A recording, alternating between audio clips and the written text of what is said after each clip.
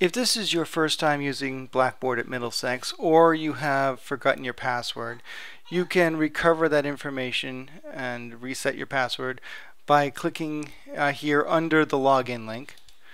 You'll need your first and last name as well as the last four digits of your social security number and it will search for your account and it will bring up a security question. The first one by default is your birth date which you will need to put the slashes in. And click get account information.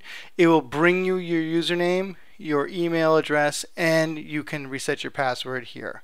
Uh, the requirements are that it be at least eight characters. Um, you can't have your username. You need to have at least one lowercase, one uppercase, uh, some numbers, and uh, upper ASCII uh, characters and it can't be a previous password that you've had before. I hope this is helpful and good luck with your studies.